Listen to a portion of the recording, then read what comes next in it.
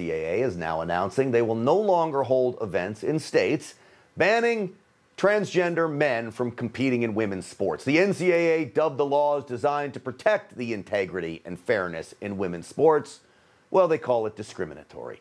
In a release statement to the NCAA by the NCAA, the Board of Governors firmly and unequivocally supports the opportunity for transgender student athletes to compete in college sports. What planet do they live on? The NCAA now believes their more inclusive policy requiring, are you ready for this? Testosterone suppression treatment for trans women must somehow perfectly level the average height, weight, muscle, and bone density advantage of a biological male, which it will not. You realize what they're doing? They're going to reduce the amount of testosterone in these men competing as women. So even the ACLU is now making it clear they're on the side of NCAA. Any state that strays from the woke liberal path will suffer financially, basically says the ACLU. Quote, discriminating against trans youth is wrong, against the law, and costly. Nothing like making a giant problem out of something that probably doesn't happen very often. More than 24 states are proposing, debating, or currently advancing legislation that requires athletes to compete in the category of their assigned birth gender. Now that makes sense to me. Go figure it's red states doing this. I want to now welcome in my panel President of the Red Renaissance PAC, Kim Klacik is here. Also with us, attorney and Republican strategist Erin Elmore. Kim, Erin, great to have you both back on the show. Thanks, Thanks for, having, for having me. All right, Kim, why don't you take this away here? Um, they want to reduce the testosterone. This is how far they're going to go in the men competing as women.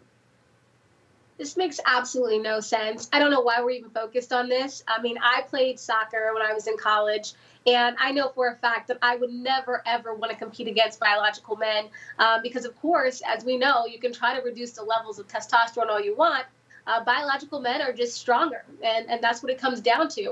Um, I think it's interesting, though, because they're saying that they're not going to have these sports being played in these states. Well, it's the red states that are actually open so that these sports can be viewed in person.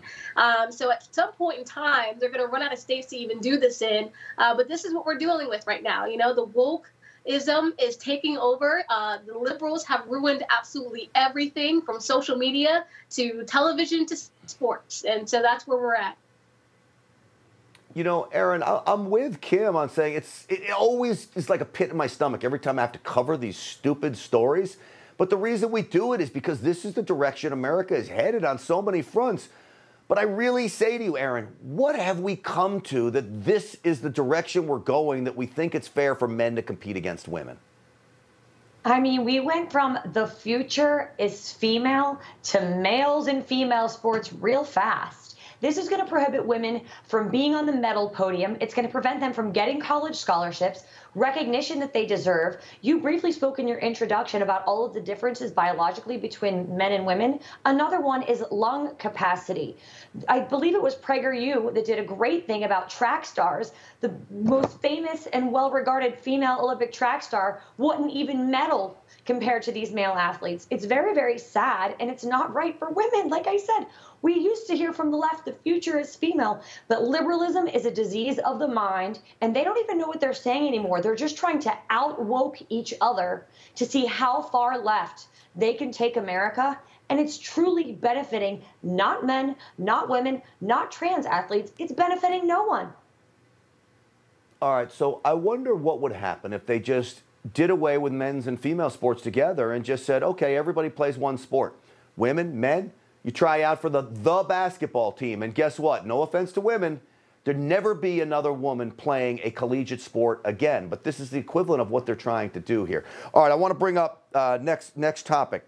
Brett Favre, staying on the topic of sports, finally an athlete calling out the craziness of professional sports today. Listen to this.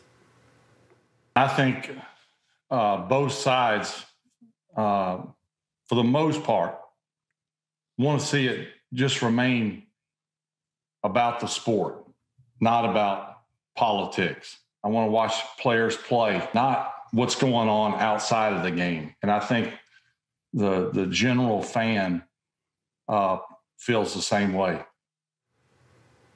Well, let me tell you something. Brett Favre doesn't wear Levi's jeans that hate guns. He wears Wranglers, Kim Klacik. I love hearing that man talk right now.